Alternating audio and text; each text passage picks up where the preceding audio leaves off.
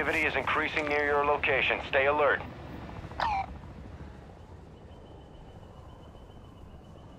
Hostile advanced UAV is active. Moving!